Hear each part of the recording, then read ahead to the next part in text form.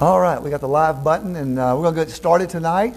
Uh, this is our Wednesday night, and I uh, really think that uh, I've heard so many people talking about how they're just kind of losing heart. But I want to deal with the subject is do not lose heart.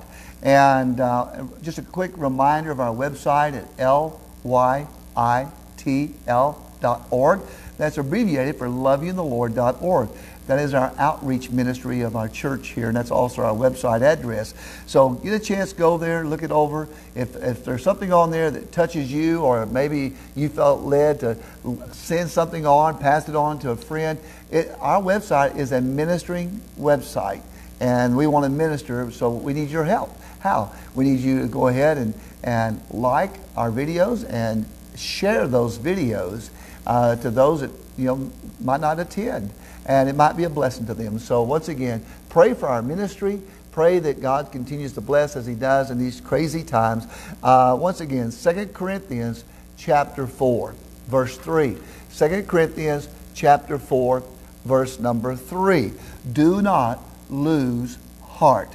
And so, Paul addresses here uh, in verse 3 But if our gospel be hid, it is hid to them that are lost in whom the God, notice the small letter G, the God of this world or this age has blinded the minds of them which believe not. Underline this. Lest the light of the glorious gospel of Christ, who is the image of God, should shine unto them.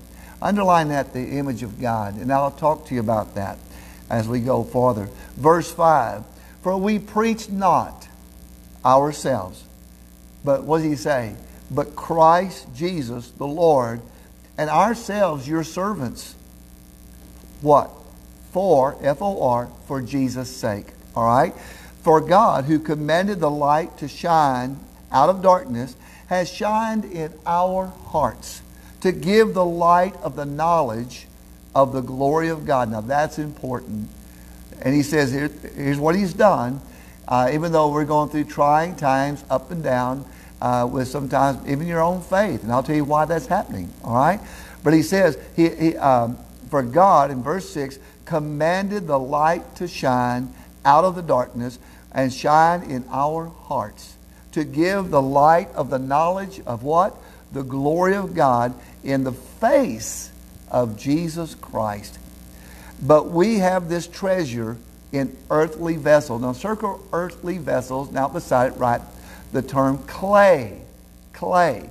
Uh, that the excellency of the power may be of God and not of us. You know, so often we kind of elevate ourselves uh, to a level that we forget that we're just earthly vessels created by God and that we will all one day die. All right?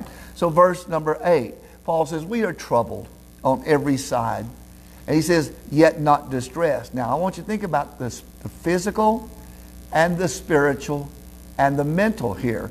He says, For we are troubled on every side. Physical. Yet not distressed. Mental, spiritual. But we are perplexed, but not in despair. Persecuted, but not forsaken. Cast down, but not destroyed. So that word destroyed, we'll come back to that always bearing about in the body the dying of the Lord Jesus, with the life also of Jesus might be made manifest or visible in our body.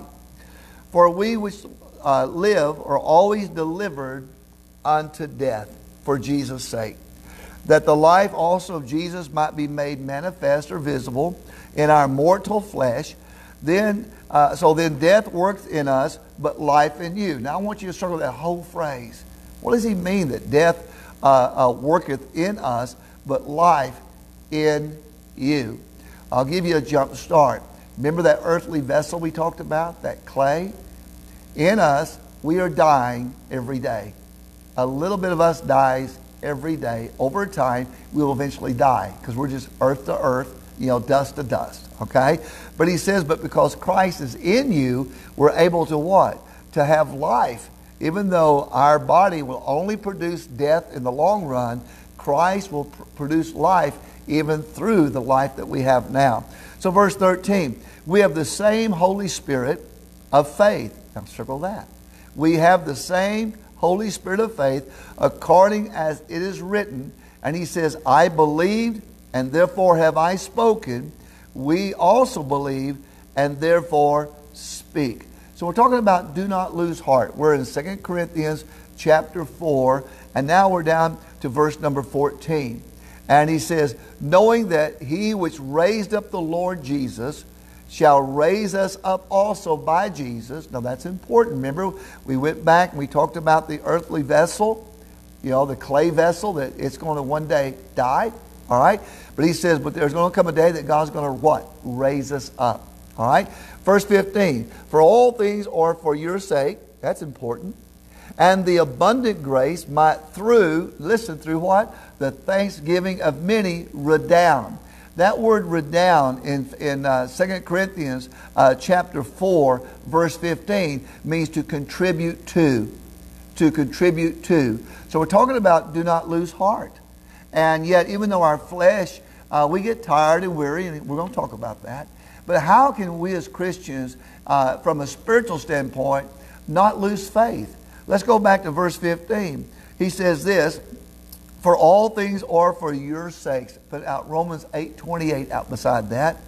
That the abundant grace, not just a little, but the abundant grace, everything you need in Christ is going to help you. He says that it might, through the thanksgiving of many, look at this, redound or contribute to the glory of God.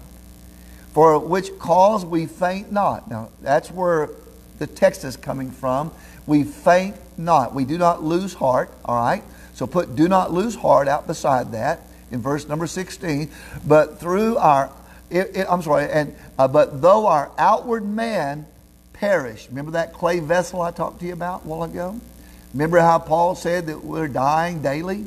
He says, Yet the inward man, this is the key, the inward man is renewed. Notice this, Lady Karen, day by day. And that's where most of us are failing. We're not taking time to renew the inner man. He says, For our light, in verse 17, affliction. Our what? Our light affliction. What do you mean light? Do you have any idea what I'm going through? Do you know what I'm experiencing? I mean, how can you call it light?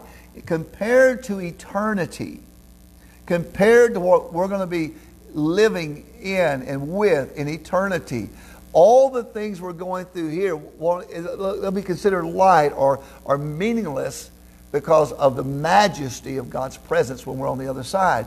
So he says, But right now, for our light affliction, which is but for a, circle that, moment.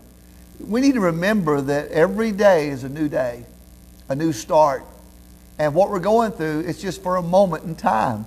Look how many things that, uh, uh, Lady Karen, that you and I have been through. And there were some ups and downs. We've had some things that really come against us from time to time.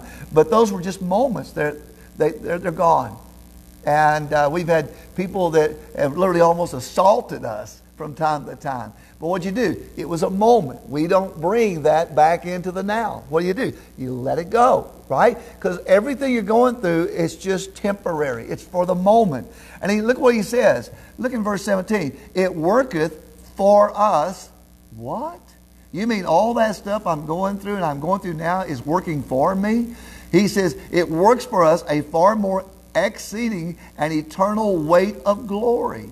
Now, I said this last week, and I'll say it again, I've, I've preached it for years. God is more concerned with who you are becoming and who you are going to reflect than what you're going through.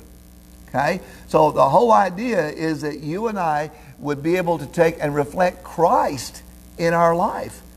You know, and we'll talk a little bit more about this. While we look not at the things which are seen, but the things which are, in verse 18, that are not seen. For the things which are seen are what? Temporal or temporary. But the things which are not seen are eternal. So here's the deal. I'm sure that nobody is joined on here or came here tonight, uh, coming and uh, today hoping and praying and longing that somebody would, would, would strip all their hope away. Nobody came here for that. Uh, uh did anyone come here hoping to be discouraged? No. Did anyone come here today hoping that someone would, would knock all the wind out of their sails? No.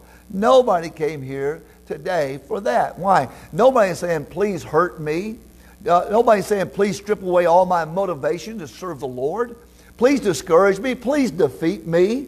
Uh, we came here looking for just the opposite, didn't we? So we came here looking for encouragement. We're seeking hope, de- desiring to be motivated to the greater things that are in the Lord, things you can't see. And, and we're going to learn about that. Uh, uh, we, we, uh, you have to understand, we came here looking for help.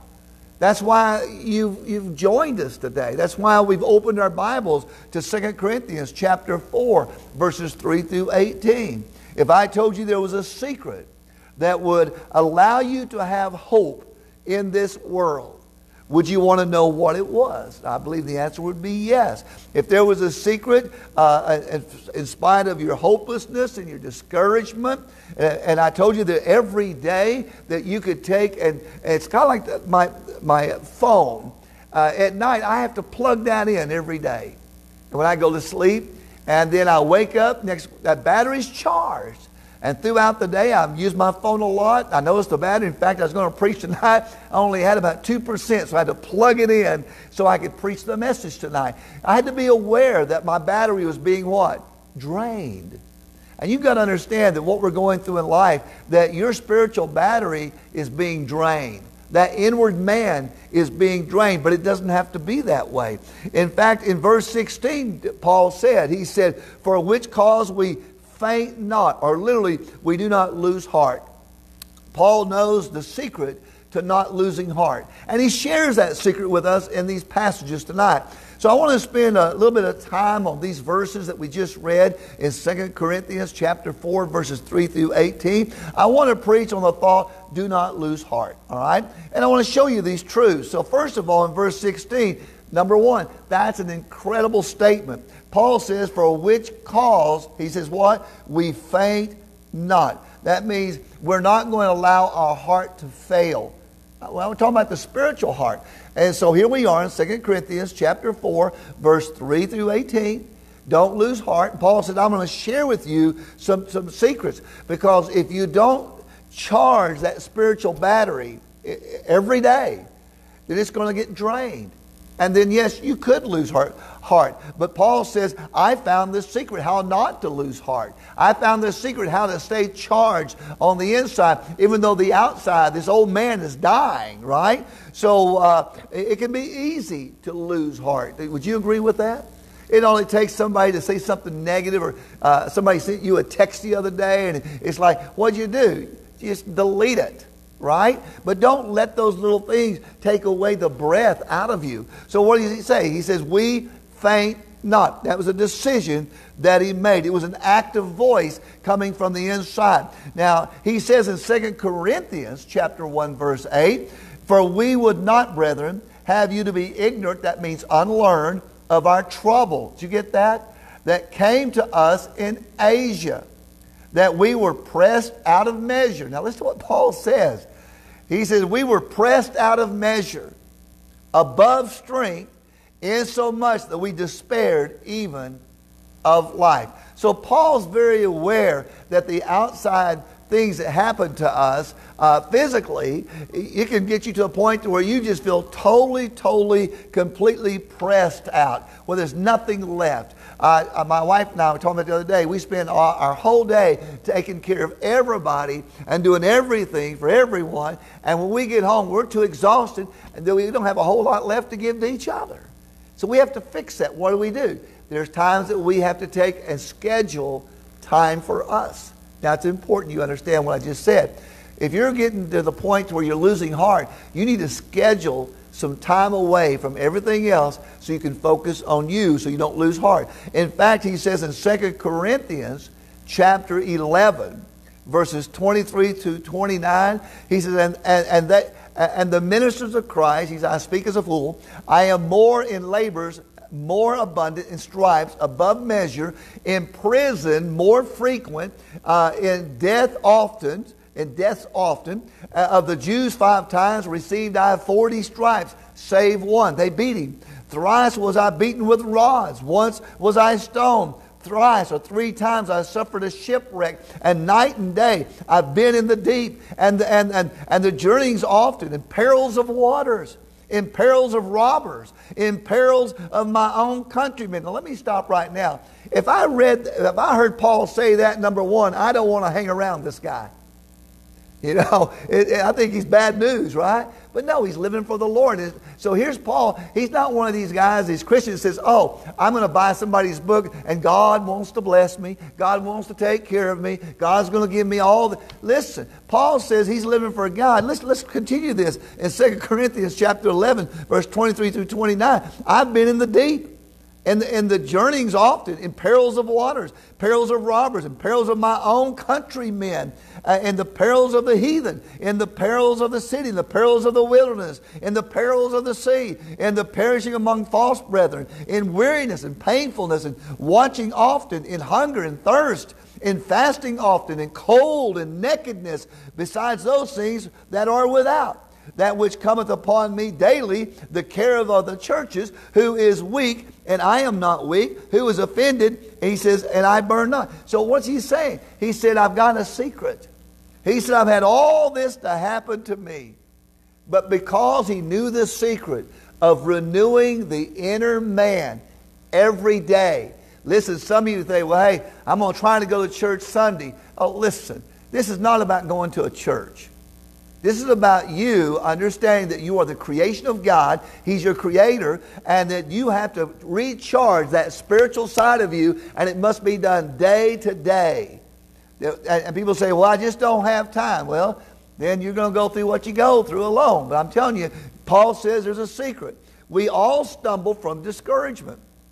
And uh, we go from discouragement to what? Discouragement a lot of times. We all quit from time to time. Uh, we all want to just stop and give in and, and, and, give up and say no more because you see, we, we feel like we've already given everything we've got left.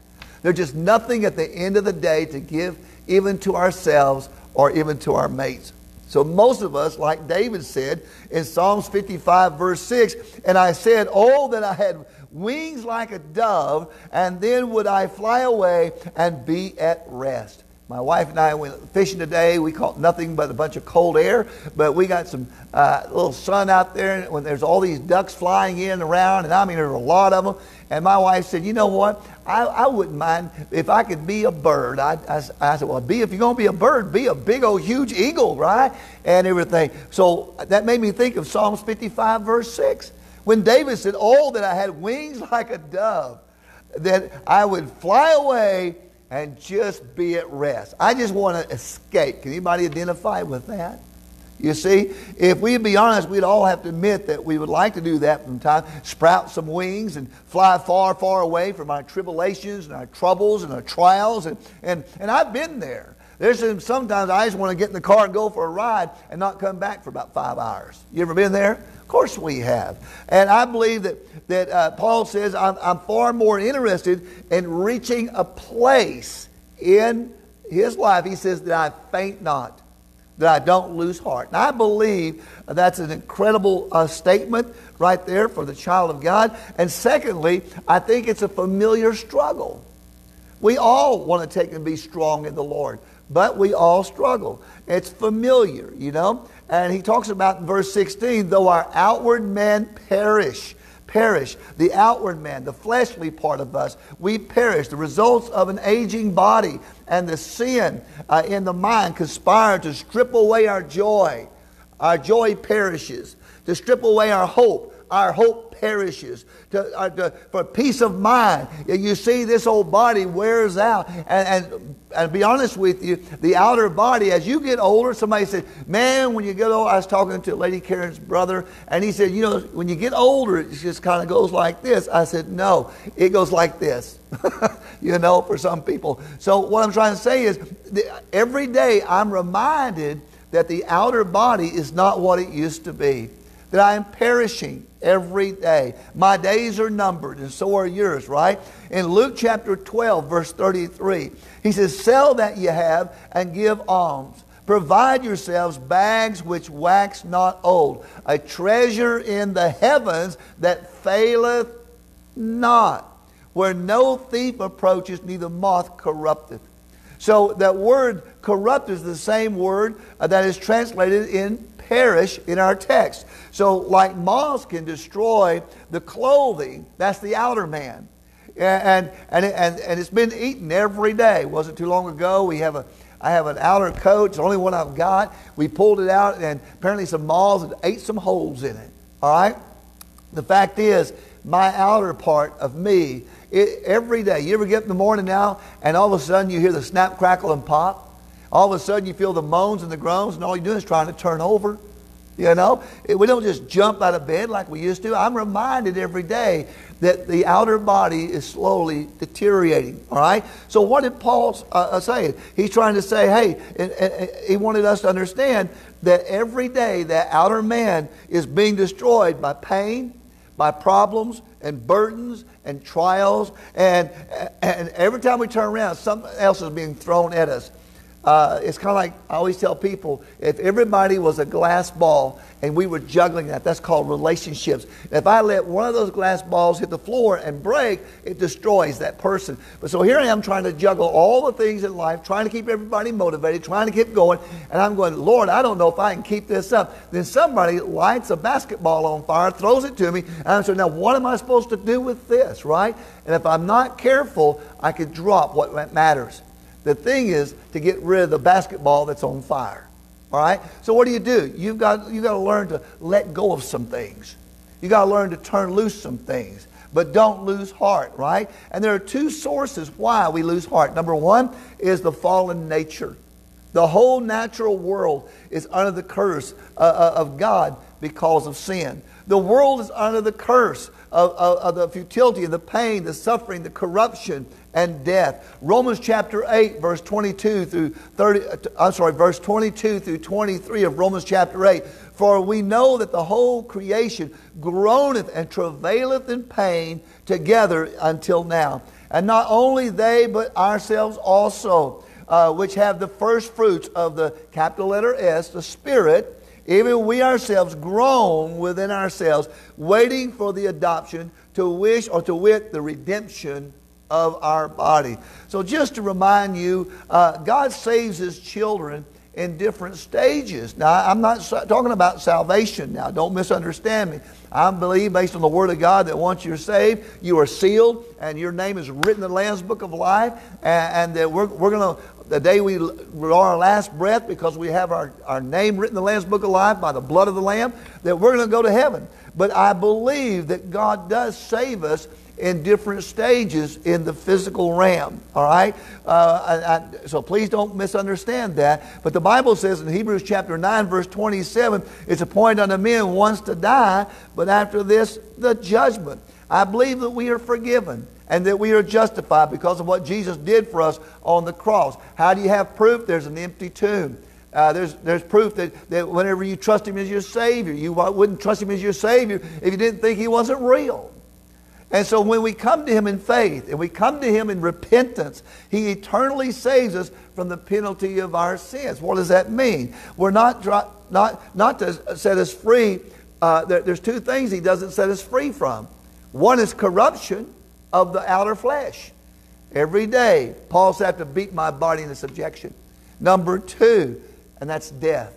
There are two things that you and I are going to have to understand that's part of our life that there's corruption all around us and it's going to affect us. And so the only way to overcome that flesh is to be able to renew the inward man every day uh, we will waste away and we will die if we don't. So we might die of old age. You might slip out into eternity when you fall asleep tonight. We might die as a child or a young adult. We might have a sudden heart attack. You might have cancer. You might even waste slowly away. You might be consumed with Alzheimer's. Hey, listen, you could have a car wreck, struck by lightning, and everything else, and all the 10,000 away that you could die. But the fact is, the outer man is perishing. We're all going to die. 2 Corinthians chapter 4 verse 7 reminds us we have this treasure in what? Earthly vessels. Did you get that? We have this treasure in earthly vessels. That is, we all live our days uh, like a fragile jar of clay. All right? One day the vessel will crack, it will break, and it'll fade away. That's the nature of life. Once you're born, you live for a certain amount of time and then you die, right? So the outer man is perishing, it's dying, it's rotting, it's broken, it's ruined. And, and, and, this process, that flesh will never ever bring you to, to where you can get through the day because it can't. It's rotting, it's not. But the inward man is from Jesus Christ. All right? So, fallen man, that would be the second reason. We talked about uh, uh, the, the fallen nature. Now we talk about the fallen man, right? Why is that important? Another element in the world that causes us to lose heart is other people. I can pause on that until everybody starts typing in amen. All right? So, it, if this fa- fallen nature doesn't get you, then the fallen people will. All right? So the foolishness of the fallen man causes that person maybe to, to go out and get drunk, drive a car, and they kill themselves or somebody else. The fallen nature leads uh, fallen people to strap bombs on their bodies and walk uh, uh, on the city buses and kill people. That fallen man, uh, the fallen nature causes terrorists to go into shopping malls and, and destroy people. Uh, fallen people, they, they let us down. Fallen people hurt our feelings. Fallen people, they fail the Lord. Fallen people, they hurt us physically, verbally, emotionally, spiritually, and they cause us to do what? Lose heart. So Paul's experience back in 2 Corinthians chapter 4 verse 8 through 10. He says, "We're troubled on every side, yet not distressed. We are perplexed, but not in despair, persecuted but not forsaken, cast down but not destroyed, always bearing about the body of the, of the, of the dying of the Lord Jesus, that in life also of Jesus might be made manifest, look at this, in our body. So then death worketh in us, he said. So it's our experience too. I believe it's easy to lose heart. When life lets you down, when people uh, are, have turned against you and, and your circumstances haven't worked out the way you want them to, it's easy to get to a place where you just want to quit. So what, but you don't have to. Did you know that? You don't have to give up. You don't have to become a statistic. You don't have to be one of those people who used to walk with God, one of those people who used to sing songs with God. You don't have to uh, be one of those people who used to go to church, one of those that used to serve the Lord, one of those that used to be faithful. You can reach a place in your life where you don't lose heart. So we talked about an incredible statement, a familiar struggle, but here's the wonderful secret. Let's go back to our Bible. All right? This is so, so important. All right? Verse 16 For, for which cause we faint not, but through our outward man, per- or though our outward man perish, yet the inward man, here it is, is renewed day by day. Did you get that? So let me ask you, are you discouraged? How much time have you spent in the Word of God, reading it and learning it and loving Him and, and spending time with Him? Why, verse 16 says we are given a fresh strength for every day. You say, I don't have the strength to get through tomorrow. Well, then get through today. Get through today, all right? So Paul reminds us about the outward man that's perishing, but the inward man was being drained. But you can renew that. You can charge it up. So the natural man includes the body, and also that of the mind. The mind is dying. Hey, you've just been mentally exhausted. Every day, the mind and the body, they assault us by reminding us of the effects of sin and, and, and, and about the sinners that are around us, right? And I'm talking about those that would do you harm. So the result is it's a constant attack on the outward man.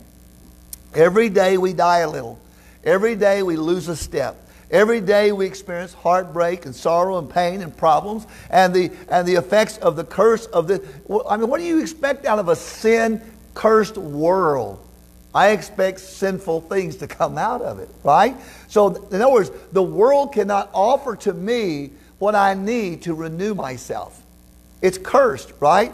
And we can all relate to that. But while the outward man grows weaker, and, and, and even nearer to the grave, the inner man can be renewed every day, day by day. Do you get that? To, to renovate, all right? So every day the inner man is given new strength uh, to face the trials. Jesus said this in Matthew chapter 6, Lady Karen, verse 34. Take therefore no thought for the morrow, for the morrow shall take thought for the things of itself. Sufficient unto the day is the evil thereof. So, in other words, he says, you, you can't control all of that. But you need to focus on today. Take no thought about tomorrow. He's not saying just put your head in the sand. He says, don't let that wear you out. So while every day brings this unique problems, every day also comes with its own measure of grace. Write that down. Measure of grace from the hands of the Heavenly Father. Look what he says in Lamentations chapter 3. We've got to close this down. Lamentations uh, chapter 3, verse 21 through 26. He says, This I recall to my mind, therefore, ha- therefore have I hope. It is of the Lord's mercies that we are not consumed. Because of his compassion, we fail not. They are new every morning.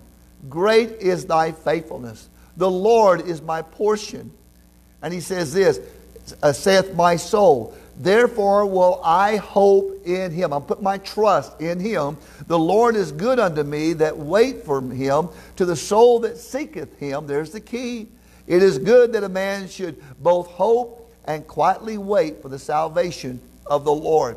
And so as our as in our days in Deuteronomy chapter 32 verse 25 and as thy days so shall thy strength be. You get that? Your days. So if you will do something spiritually, something mentally with the word of God and the presence of God every day, if you will do that, it will strengthen you.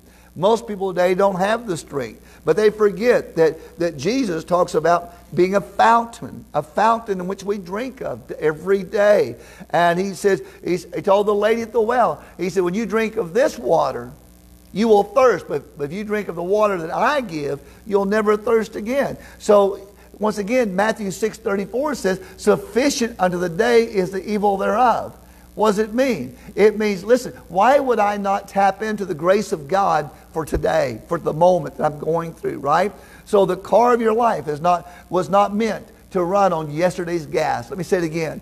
The car of your life that you're living in right that you drive right now was not meant to run on yesterday's gas. You need to fill it up what?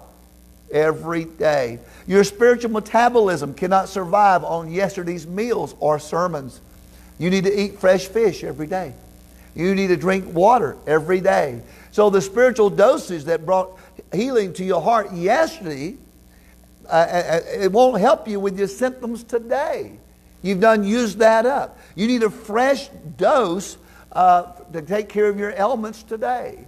Uh, my wife, it's funny, we were getting ready to come over here to the church, and it's a cold night, and a lot of people didn't show up, and, and uh, there are people watching here that, uh, that I hope you'll like and share this with others and give them some hope out there.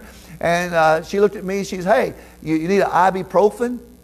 Because she knows I'm in pain tonight with this cold weather, right? So, uh, you know, sometimes we, we don't understand that we're going to have pain every day. And I had a choice to either take it or not take it. And you say, what if you don't take it? Well, you're just going to hurt all night long, right? So what are you going to do? I'm going to take an ibuprofen when I get home. All right? So God says, I'm going to give you a formula so that you don't have to lose hope. It's up to you if you want to take it.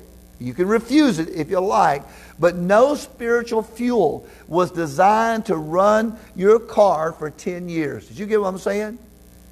No spiritual fuel was designed to run your car, which is you, all right, for 10 years. The single spiritual meal will power you, you think, for months at a time. But it's not. That's why we go to church every week.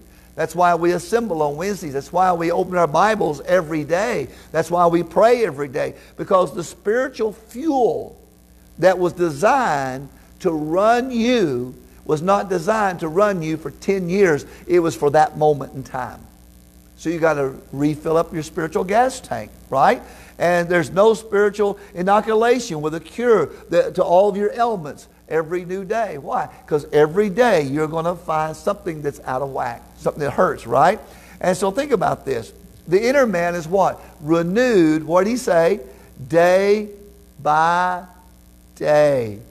He's renewed fresh, fresh fuel, by fresh food, by fresh medicine, right? All right? So, what does that mean? It means you need to feed on the Word of God every day. You need to pray to the Father every day. You need to have fellowship with the saints of God every day. You say, Well, I don't really see anybody at church till I go to church. Hey, listen, we have cell phones, we've got duos, we got all kinds of ways to communicate. Listen, pick up the phone. Going to church, uh, I wish people get this, but going to church once a week or once a month will not get the job done.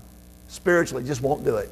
All right? You need a fresh start every day. I suggest you start in Proverbs and you start with Proverbs chapter 1 and then read that today. And then you, and that's like, what, 31 chapters there? At the end of the month, you've read them all. You know, Proverbs is a great way to start your day. So, same way here. Just the sermon that you heard even tonight, you, you, it's going to get you through to, to, to now, but you're going to have a lot going on between now and Sunday. You're going to need a, whew, a breath of fresh air. You're going to need a new start. You're going to need to be renewed. You've got to renew that inner man every day by day. And so, what do we do? If we don't feed our bodies, our bodies perish. Same thing here. If we don't put gas in our car and do an oil change, it's going to begin to break down. And if we go to the doctor and, it gives you some medicine to take care of your body and you refuse to take it, it's not going to help you, right? So we make no provision today uh, uh, for the inner man who must be renewed. What? Paul said it. Here's the key. You got to do it every day. Not every Sunday or maybe every other Sunday, but every day. So, verses 17 18, nothing we face in this life will last forever. Notice that carefully the language Paul uses here. He says, Our light affliction, which is but for a moment. Our light affliction is but for a moment. Our problem is that we hear this, but we do not believe it. We, uh, what we believe is what we see. And what we believe is what we feel. And what we believe is, is the pressure that we're feeling. And, and, and we never think it's easy. We never hear a believer testify about their problems and say, oh, they're light. Oh, listen, losing a loved one to the grave, oh, it's, it's no big deal. You'll never hear that. The reason Paul says this is we can't, can't in reality, is because we don't have the proper perspective. Now, that's the key as we close out. We need to get the proper perspective on some things, all right? So the psalmist said this way in Psalms 30, verse 5 Weeping may endure for the night, but joy comes in the morning. You know, uh, I, I, I, wish we had more time, but we don't. This is one of those that really needs to be done in, in probably two different sessions. But Paul closes out with this, and he says in verse 18, he says, While we look not at the things which are seen, but at the things which are not seen. The things which are seen are temporal, but the things which are not seen are eternal. So what we're going through, it's, it's to, the whole point of this is to mold you and mold me and shape you and shape me into something that gives God the glory.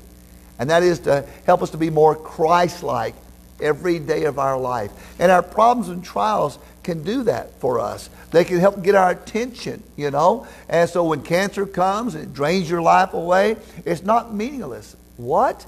When your heart breaks and your dreams are shattered, it's not meaningless. What? When your loved one dies at the hands of a drunk driver, it's not meaningless. When the car fails mechanically and someone you love dies, it's not meaninglessly. And the pastor, when you struggle with problems in your ministry, it's not meaninglessly. All right? So, regardless of all this, the reason why I tell you that is I'm a firm believer that Paul said in Romans 8 18, For I reckon that the sufferings of this present time are not worthy to be compared to what? To the glory that shall be revealed in us. So, all the things I'm going through, all the things you're going through, it's helping you to become the man or the woman that God wants you to be. Think about that for a moment. You say, I can't see that. Well, no, that's what Paul said. He said, You're looking at the outside. God sees the heart. And He's looking at who, what you're becoming from the inward man. He's developing you to be like Christ. So remember back in verse 7, we're just earthly vessels. And he reminds us that, that we're going to be cracked. We're going to wear out. We're going to be discarded over time, this old body. So what do we do? We live in the truth that Jesus Christ is who he said he was. He's the eternal God, our Savior. Uh, he's the Creator. Uh, we're just a pilgrim and, and we're a stranger on this. We're just passing through down here. And, and, and, and along the way, you become delusioned, you become uh, defeated and discouraged, but don't lose heart. Why? You got to look to the other side. And there's going to come a day that we're going to stand in glory. And all the tough times, Lady Karen, that we have to go through and trying to keep a ministry running and going and making ourselves available, we're going to say, oh, that was nothing. When you see what God's got in store for us, we're not even going to think about this. We're, it's not even going to cross our mind ever again. When you stand in heaven in front of the Creator, God the Father, God the Son, God the Holy Spirit, and all of the saints of God, you don't give it one thought about what you went through on this earth. Does that make sense? He said that was the key perspective. What we're going through is just temporary. We're going to get through it with God's help and with each other, and we're going to, we're going to let God develop us so that the glory that shall be what? Revealed in us. I hope and pray that somebody might say, you know, Pastor Rick, you know, you remind me of what the Bible calls one of those Christians, one of those Christ like people. Boy, wouldn't that be great? Most people don't quite see me that way most of the time, but I would love that. If somebody said there's enough evidence in you, of Christ in you, that you remind me of someone who is a follower of Jesus Christ. Oh, what a glory that would be. Father, I pray that, Lord, that we just won't lose hope, that we understand there's the key to renew the inner man every day. Nobody can do it for us. Pastor can't do it for you. Mom and dad can't do it for you. Your mate can't do it for you. It's something you have to do. I want to renew this inner person. I want to wake up in the morning and I want to read your word. I want to pray to you. I want to lift up my heart to you and put my faith in you that your grace is sufficient for today and that we're going to make it through. And then tomorrow and the next day, Lord, you're sufficient. Lord, I trust in you. Lord, if there be one here that doesn't know you as Savior, I pray like the thief on the cross, they would say, Hey, I'm guilty, and I believe that you are the Christ, that you are God's Son, that you are hanging on the cross, paying for my sin debt. So I'm going to ask you, Lord Jesus, come into my heart and save me. Give me a home in heaven with you. And Jesus, you turned to, that, uh, to the thief and said, Today thou wilt be with me in paradise. The same Jesus I trusted in to save me is the same Jesus I trust in to give me the grace and the guidance that I need to try to be a blessing in this life. I love you. Hugs and kisses in Jesus' name. And all the God's people said, Amen. Don't lose hope. God bless you. Bye bye.